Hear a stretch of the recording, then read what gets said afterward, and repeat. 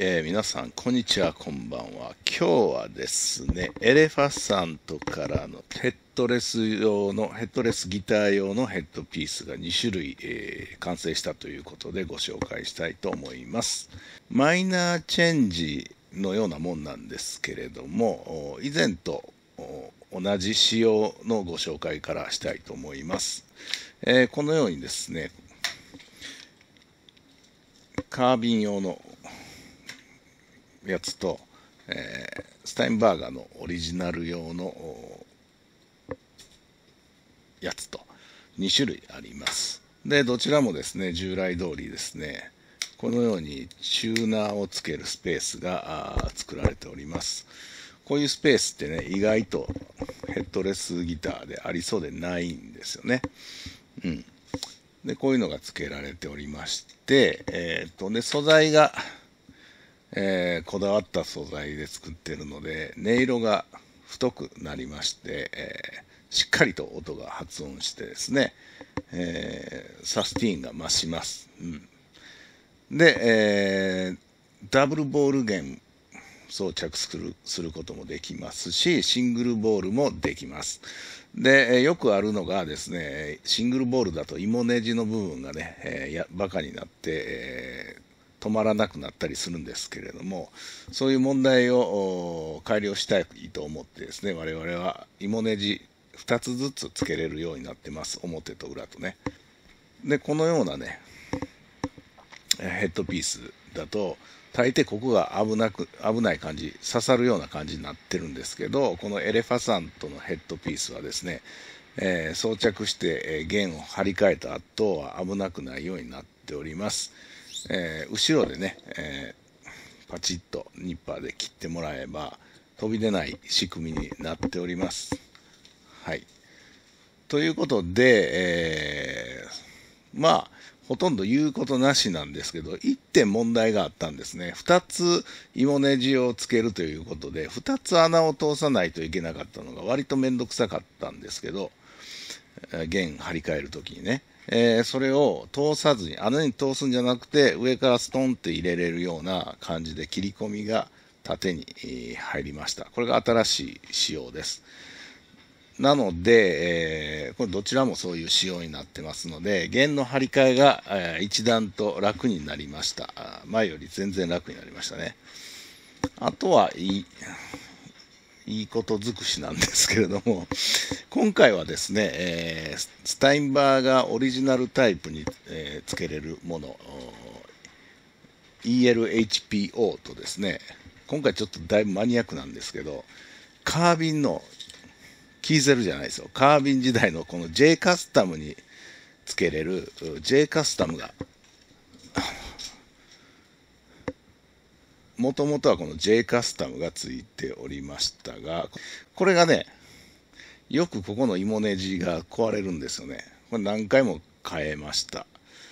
でもう手に入らないし、えー、譲っていただいたこともありますし、これがダメになったらもう、このギター終わりなんですね。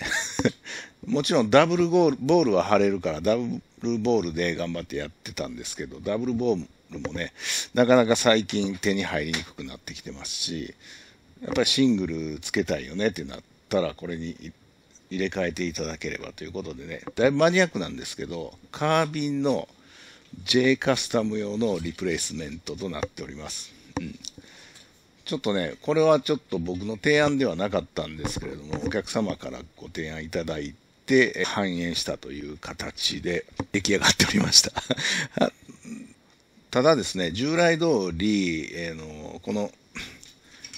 スプリットですね、スプリットに、えー、つけたい人、今回スプリット用の作ってないんですけれども、実はこの J カスタムとサイズ一緒なんですよ。ね、あの、ネジの長さだけサイズ違うだけで、ネジの長さを別のものをご用意していただければ、普通に取り付けれますので、どうしてもご嫁の時はこのこれでどちらも代用できるかなと思いますうん。ただ、だいぶね、マニアックなんで、J カスタム用って今作ってないんで、J カスタムが。なので、今後ね、このロットが終わった後、これを作り続けるかどうかちょっと定かじゃないので、もしこのカービン用のね、やつを欲しいと思ってたら、なくなる前にお買い求めいただければいいかなと思います。うん。このね、カービン用のやつってもうだいぶ老朽化が来てるんで、これダメになったよっていう人、そういう人を助けるために作った感じになります。うん。次回からもしかしたらやっぱり今でも販売されているスピリット用になるかもしれない。この辺はちょっと僕一人ではちょっとわからないので、えー、どうなるかちょっとまだ未定なんですけれども、で、これらの製品のね、えー、収益はですね、次の、次のというか、開発中のね、トランストレームの資金になりますので、えー、皆さんご協力いただければ嬉しいと思います。はい、えー、新作のね、えー、ニュータイプのエレファサントのヘッドピースが届きましたので、デモ機がね、届きましたので、早速取り付けしてみたいと思います。えっ、ー、と、こちらがね、えー、古い方の方ですね。以前販売してたやつです。新、ニュータイプはですね、ここが、上から弦入れれるようになってます。ここ、ここですね。ここ、わかります？これは穴を通さないといけない古いタイプと、えー、穴を通さなくて上から差し込めるタイプ。そういう改良版ですね。改良版になっております。これをつけていきたいと思います。えー、装着完了しましたが、このヘッドピースはダブルボール弦も、シングルボールボール弦もどちらも貼れるので、まずはダブルボール弦を貼ってみようかなと思います。はい、えー、こんな感じでね、えー、装着しました。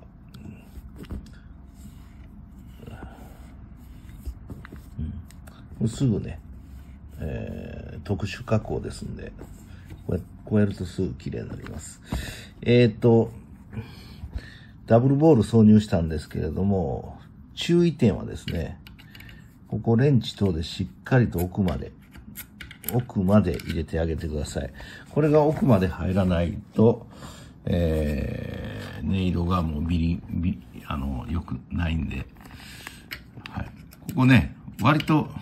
狭い、狭く作ってあります。狭く作ってあるというか、これ以上穴を大きくすると、この側面をもっと大きくしないといけないので、この穴がまあ限界値なんですけど、まあ、センターを取ってね、まっすぐになるように入れるには、この穴のサイズがまあ限界なんで、まあちょっと勘、辛抱してください。これちょっときつめなんですけど、これグッと押してあげて、えー、この穴斜めになっております。斜めになっててネジ切りが入ってるんでね、えー、押してやってください。スッと入れてピュッと引っ張ったら、あの、ここの角度が取れないんで、うん、テンションが取れないんで奥までやってください。あとですね、まあこれがこのままで全然十分なんですけど、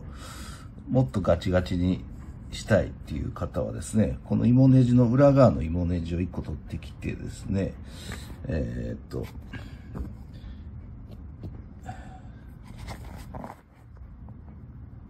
取ってきて、ここ、芋ネジと合うようになってますんで、こんな感じで、はい、こんな感じで入れてやるとね、はい。ここに芋ネジ1個入りました。わかるかな？開けてるなこれ芋ネジ入ってる状態です。ちょっとピンボケやな。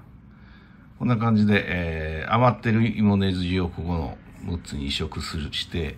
えー、ガチガチにしてやることもできます。そうするとやっぱり振動がぐっと、クッと止まりますんで、上がってくる心配もないし、サウンドも良くなると思いますね。はい。えっ、ー、と、こちらは、えー、J カスタムになりますね。J カスタムのヘッドピースを、エレファサントのヘッドピースにチェンジしてみようと思います。ということで今回はエレファサントのヘッドピース2点2種類、えー、ELHP オリジナルの O と ELHP J カスタムの J えー、こちらが販売されております。えー、概要欄に、えー、販売サイトのリンクを貼っておきます。えこんな感じです。今後ともよろしくお願いします。